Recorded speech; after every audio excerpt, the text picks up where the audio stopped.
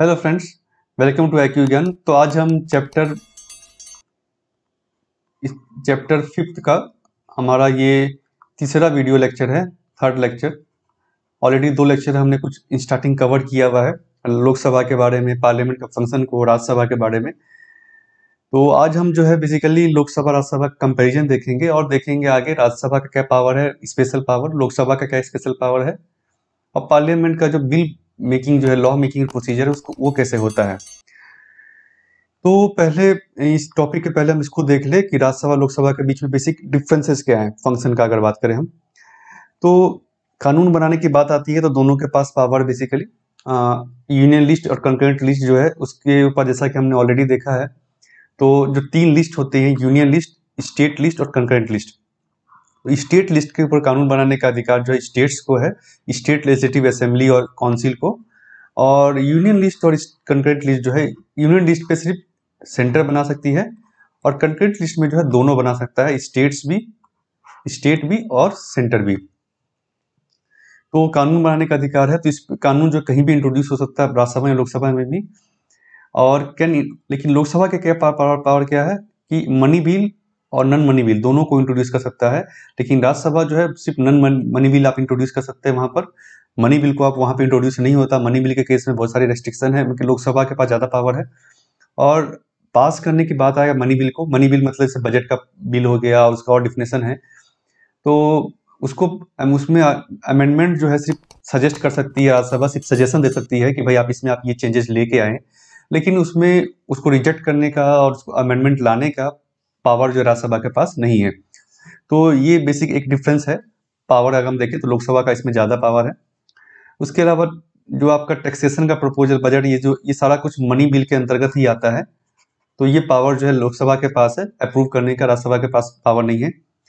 Amendment की बात करें कॉन्स्टिट्यूशनल अमेंडमेंट की तो इसके पास दोनों के पास बराबर पावर है। मतलब कि दोनों हाउस से उसको अप्रूव होना होगा अमेंडमेंट को, तभी वो जाके वो अमेंडमेंट एक्ट बनेगा पास होगा।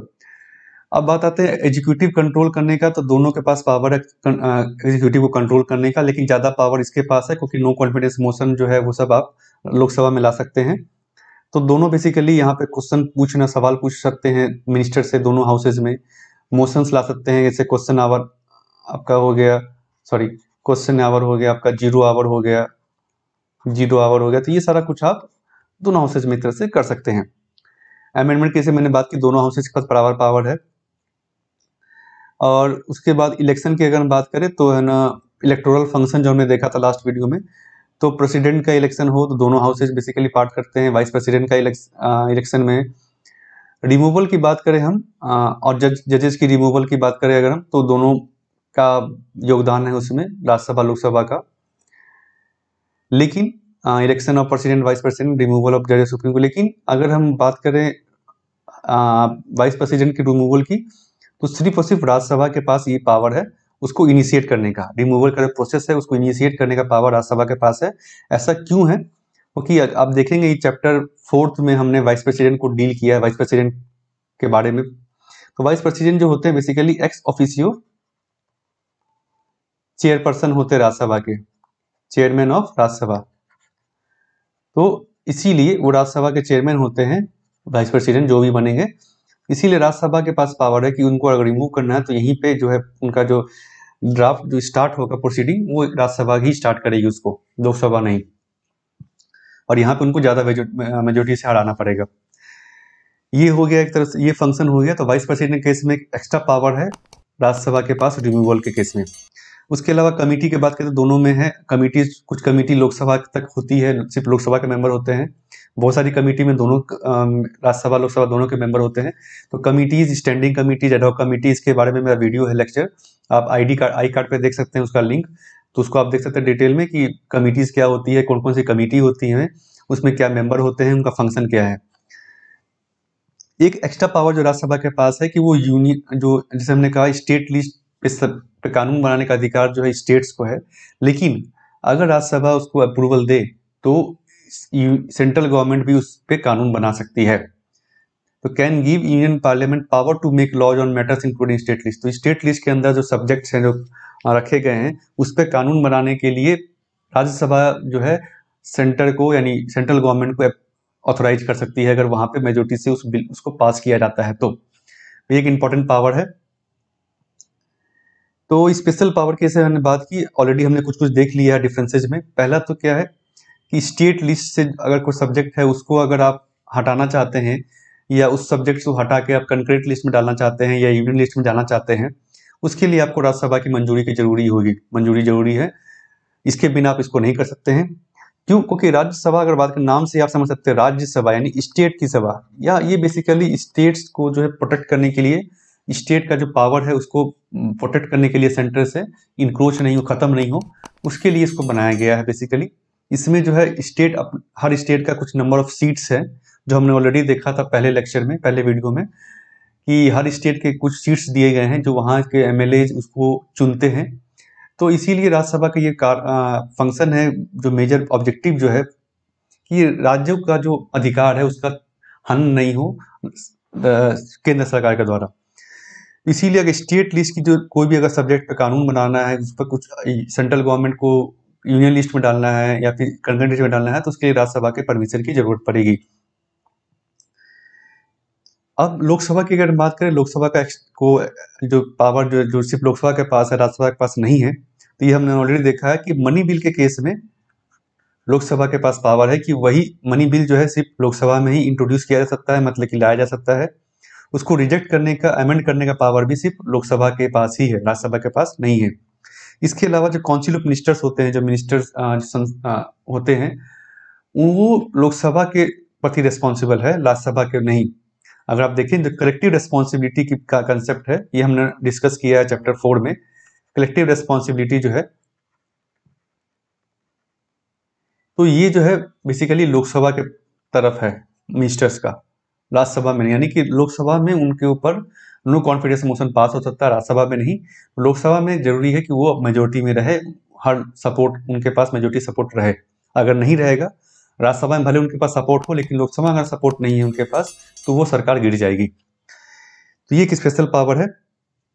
क्यों? ऐसा क्यों होता है? Because Rajya Sabha is elected by the M and not directly by the people तो राज्यसभा इनडायरेक्ट इलेक्टेड बॉडी है। एम इसको, जैसे कि हमने देखा ऑलरेडी इलेक्शन का चैप्टर थ्री में आप देख सकते हैं ये प्रोपोर्शनल रिप्रेजेंटेशन सिस्टम है। प्रोपोर्शनल पी आर सिस्टम इसके थ्रू ये इलेक्शन होता है तो इंडिया इलेक्शन तो इसमें एम एल इलेक्ट करते हैं। तो इसीलिए जो बेसिकली इसको जो है आ, जो लोग चुन के आ रहे हैं जो सरकार जो है उनको लोकसभा में मेजोरिटी की ज़रूरत है राज्यसभा में नहीं। Constitution stop sort of giving certain powers to the Rajya Sabha इसीलिए कुछ पावर जो है राज्यसभा को नहीं दिया है जैसे पैसे के पावर है मनी बिल्स का पावर तो वो ज़रूरी नहीं दिया उन्होंने। इसके अलावा अगर आप देखें तो बेसिकली हर अदर स्पेस में दोनों राज्यसभा लोकसभा जो है, बराबर है। चाहे वो आपका नन मनी बिल को लेकर के हो कॉन्स्टिट्यूशनल अमेंडमेंट को लेकर के हो संविधान में कुछ चेंजेस लाने की, और इम्पीचमेंट करना हो प्रेसिडेंट का वाइस प्रेसिडेंट का। वाइस प्रेसिडेंट का केस में एक स्पेशल पावर है रिमूवल का। तो इसको छोड़कर सभी केसेस में दोनों बराबर है। अब हम आते हैं पार्लियामेंट कानून कैसे बनाती है, जो एक फ़ंक्शन है पार्लियामेंट का कानून बनाने का, वो कैसे होता है प्रोसीजर क्या है उसका? एक डिफरेंट प्रोसीजर है, इसको ये फ्लोचार्ट के मेथड से समझाया गया इसको आप समझ लेंगे तो आपको काफ़ी आसानी होगी। तो पहले तो एक बिल जो है पेश किया जाता है बिल के रूप में वो आता है। बिल क्या बेसिकली ड्राफ्ट लॉ है। बिल जो बेसिकली ड्राफ्ट है कानून का। ड्राफ्ट लॉ कानून के बारे में इसमें बेसिकली बताया था, ये ये अनुच्छेद होंगे इसमें, ये एक डिस्क्रिप्शन होता है डिटेल डिस्क्रिप्शन उसमें क्या क्या पनिशमेंट है, कहाँ से पैसा आएगा अगर वैसे ही है तो ये सारा कुछ उसमें लगता है। इसको इंट्रोड्यूस किया जाता है, दोनों में से किसी हाउस में इंट्रोड्यूस किया जा सकता है, नन मनी बिल के केस में। मनी बिल के केस में क्या है, सिर्फ़ लोकसभा में ही आप इंट्रोड्यूस कर सकते हैं। अब इंट्रोड्यूस तो हो गया, इसके बाद क्या होता है, इसको जो है, वो हाउस या तो उसके ऊपर डिस्कशन करती है, या जनरली क्या होता है, उसको कमेटी को भेज दिया जाता है। उससे जुड़ी हुई, जैसे बिल जो है, अगर किसी फाइनेंशियल मैटर पे है तो फाइनेंस कमेटी को भेज दिया जाएगा। किसी दूसरी मैटर पे है तो उस तरह से कमेटी जो है, उसको, को भेज दिया जाता है। या फिर हाउस उसको डिस्कस कर सकती है, जैसा भी उस पर हाउस को चाहे। अगर टाइम नहीं है तो हाउस हो सकता है, खुद ही उसको डिस्कस करके वहीं पे वोटिंग करने के लिए रख दे। कमिटी जो उसका रिपोर्ट अपना देगी, अगर कमेटी के पास बिल गया है, कमेटी चाहे तो लोगों से भी इनपुट ले सकती है, या मान लीजिए उस केस में मान लीजिए प्राइवेसी का है, या आईटी को लेकर को बिल है तो आईटी कंपनी से लेकर के ग्लोबल कंपनी से कंपनियों से भी स्टेक होल्डर से बेसिकली जो है, वो आप आप अपना उनका इनपुट ले सकते हैं फीडबैक ले सकते हैं। ये कमेटी के पास अधिकार है। उसके बाद जो कमेटी रिपोर्ट देगी तो हाउ हाउस के जो मतलब जो लोकसभा या राज्यसभा जो है वो चाहे और ना चाहे उसका रिपोर्ट को एक्सेप्ट कर भी सकती है नहीं भी कर सकती है। ज़रूरी नहीं एक्सेप्ट करना जनरली उस पर उसके ऊपर डिस्कशन होता है डिटेल में हाउस के ऊपर। उसके बाद डिस्कशन के बाद बिल इज़ एक्सेप्टेड और रिजेक्टेड बिल या तो वो, हाउस लोकसभा या सभा उसको एक्सेप्ट कर ले सकता है या रिजेक्ट कर सकता है। अगर एक्सेप्ट कर लिया उन्होंने तो सेकेंड हाउस के पास वो बिल जाएगा पास होने के लिए। दूसरे हाउस के पास भी पावर है कि वो अप्रूव करे उसको या फिर अपना रिकमेंडेशन दे सकती है कि भाई ये चेंजेस लेके आए आप इस बिल में। अगर आ, उसके बाद जो क्या है वो अगर वो दूसरे दूसरा हाउस उस पर एग्री नहीं करता है या दोनों हाउस के बीच में एग्रीमेंट नहीं हो पाता है एक हाउस कुछ कह रहा है दूसरा हाउस उसको पास नहीं कर रहा है एक हाउस ने पास कर दिया तो उस केस में क्या होगा कि ज्वाइंट सेशन बुला सकता है पार्लिया प्रेसिडेंट प्रेसिडेंट ज्वाइंट सेशन बुला सकते हैं। और ज्वाइंट सेशन बेसिकली क्या होता है यहाँ पे लोकसभा और राज्यसभा दोनों का मिलकर के एक सेशन होता है। दोनों के एम वहाँ पे जुड़ते हैं। यहाँ से अगर पास हो जाता है, उसके बाद प्रेसिडेंट के पास जाता है कि वो उसको अप्रूव करे, जब उसको वापस भी भेज सकते हैं प्रेसिडेंट के पास पावर है इसे हम कहते हैं वीटो पावर इसको हमने चैप्टर फोर में देखा है डिटेल में तो थोड़ा सा तो वीटो पावर जो है प्रेसिडेंट के पास होता है तीन चार तरह के वीटो होते हैं. पॉकेट वीटो हो गया सस्पेंसिव वीटो हो गया आपका तो चार तरह के वीटो हैं बेसिकली तो वीटो पावर है, वो बिल को अप्रूव करें या तो वापस भेज दे विथ होल्ड कर सकते हैं. अगर अप्रूव करते हैं तो वो कानून बन जाएगा. जिस डेट से जिस बिल को इफ़ेक्टिव किया जाएगा। तो ये बेसिकली पूरा प्रोसीजर अगर इसको ध्यान रखें तो आप आराम से आंसर उसको सब्जेक्टिव में लिख सकते हैं। तो बिल, जैसे मैंने कहा ड्राफ्ट लॉ है। अब प्राइवेट मेंबर गवर्नमेंट बिल को हमने ऑलरेडी लास्ट वीडियो में हमने डिस्क्राइब किया है। प्राइवेट मेंबर बिल वो हुआ जो कि किसी मिनिस्टर्स ने पेश नहीं किया है। मिनिस्टर नहीं, इसका मतलब वो रूलिंग पार्टी का भी एमपी हो सकते हैं और अपोजिशन का भी एमपी हो सकते हैं, लेकिन वो मिनिस्टर नहीं होने चाहिए। तो उसे हम कहते हैं प्राइवेट मेंबर बिल अगर किसी मिनिस्टर ने बिल को पेश किया तो उसे गवर्नमेंट बिल कहा जाएगा मतलब गवर्नमेंट इस तरह से उसको एग्री कर रही है। तो government bill private member bill हो गया टाइप्स ऑफ़ बिल की अगर बात करें हम, एक और कैटेगरी आप कर सकते हैं मेथड जो है नॉन मनी बिल और मनी बिल मनी बिल हो गया एक तरह से और नॉन मनी बिल हो गया। नॉन मनी बिल दो तरह के हो सकते हैं ऑर्डिनरी बिल या कंस्टिट्यूशनल अमेंडमेंट बिल ये इसका मतलब हुआ कि आप कंस्टिट्यूशन में कुछ अमेंडमेंट करना चाहते हैं प्रस्ताव ऑर्डिनरी बिल ऑर्डिनरी बिल हो गया जो कि अमेंडमेंट एक तरह से नहीं है अंडर आर्टिकल 368 अमेंडमेंट किया है, उसको आर्टिकल थ्री सिक्सटी एट में डिफाइन किया गया प्रोसीजर को। तो ये टाइप ऑफ़ बिल हो गया। इसके बाद हम, जो हमने देखा प्रोसीजर बिल को पास करने का कानून बनाने का, उसी को यहाँ पर डिटेल में बताया गया एक तरह से। तो बिल पेश करने के पहले भी बहुत सारा डिबेट होता है पार्लियामेंट के बाहर, जैसे कि ये इनफॉर्मल डिबेट हुआ, या जो ग्रुप है मीडिया ग्रुप है, वो प्रेशर करता है फोरम पे वहाँ पे डिबेट होता है कि ये बिल लेके आना चाहिए। जैसे कुछ अगर जैसे आपने देखा था रेप केस हुआ था दिल्ली का तो उसके में बाहर में डिबेट हुआ था कि नहीं आप जो संशोधन लेके आए, कानून को और कड़ा करें। तो इस तरह से बहुत सारे जो है डिबेट्स होते हैं। इनफॉर्मल डिस्कशन इसको आप कर सकते हैं। इनफॉर्मल डिबेट फॉर्मल डिबेट हो गया जो पार्लियामेंट में तरह से हम कहे इनफॉर्मल डिबेट होते हैं कि गवर्नमेंट को प्रेशर करने के लिए। उसके बाद बिल जो है प्रिपेयर होता है। बिल प्रिपेयर करने समय बहुत ही चीज़ें देखी जाती है कि भाई उसमें जो स्टेक होल्डर्स उनका व्यू लिया जाता है। आ, क्या क्या निटी ग्रिटी है? कानून का कहीं उल्लंघन तो नहीं कर रहे हैं। ऐसा तो नहीं इस कानून को लेके आएँगे। अगर हम एक कानून को लेके आ रहे हैं तो बाकी किसी कानून में संशोधन करने की ज़रूरत है तो सारा कुछ जो है देखा जाता है वो सारा कुछ। उसके अलावा देखा जाता है कि भाई रिसोर्स जो पैसा अगर चाहिए उस स्कीम के लिए बिल के लिए तो पैसा कहाँ से आएगा? अपोजिशन का सपोर्ट हमें है कि नहीं है? या फिर अगर कॉलिशन गवर्नमेंट है तो भाई हमारे खुद के पार्टनर का सपोर्ट है कि नहीं है? ये किन पे इम्पैक्ट करेगा कानून? उनका सपोर्ट है कि नहीं है? ये सारा कुछ जो बेसिकली देखती है कैबिनेट बेसिकली इस चीज़ को देखती है या मिनिस्टर जो है उस देखते हैं, फिर कैबिनेट उसको देखती है सारा कुछ को। उसके बाद कैबिनेट अप्रूव करती है तो बिल जो है बेसिकली ड्राफ्टिंग शुरू होता है उस बिल पे। और ड्राफ्टिंग का जैसे हमने देखा तो उस मिनिस्ट्री का काम है कि उसको ड्राफ्ट करे, उसके जो छोटे छोटे चीज़ उसको ध्यान में रखें। जैसे यहाँ पे बताया गया है कि अगर मैरिज एज को घटाना है, बढ़ाना है, आपको अठारह से इक्कीस साल जिस, जिसके बारे में बात चल रही है तो वो कानून मंत्री के पास जाएगा, कानून मिनिस्ट्री के पास जाएगा, उनका काम है उसको बिल को ड्राफ्ट करें। बिल इंट्रोड्यूस का जैसे हमने कहा कि अगर नन मनी बिल है तो लोकसभा, राज्यसभा किसी में भी आप इंट्रोड्यूस कर सकते हैं। मनी बिल है अगर अगर तो सिर्फ़ लोकसभा में आप इसको इंट्रोड्यूस करना है आपको। इंट्रोड्यूस होने के बाद उसको कमेटी के बारे में पास भेजा जा सकता है, नहीं भी भेजा जा सकता है, ज़रूरी नहीं है। कमिटी अपना जो है बेसिकली उसको अपने स्टडी करती है स्टेक होल्डर से फीडबैक लेती है मीटिंग करती है, उसके बाद उसको हाउस के पास अपना सजेशन रिकमेंडेशन के साथ भेजती है। उसके बाद जो है, तीसरे और फाइनल स्टेज में क्या होता है, बिल को वोट करने के लिए डाला जाता है। जब उस हाउस में बिल को फॉर में या अगेंस्ट में आपको वोट करना है एमपीज को तो उसके बाद अगर वो बिल वहाँ से पास हो जाता है तो दूसरे हाउस में उसको भेजा जाएगा। वहाँ पे भी सेम प्रोसीजर अपनाया जाता है। कमेटी के पास आप भेज सकते हैं डिस्कशन होगा वोटिंग होगी, सारा कुछ वहाँ पे भी होगा।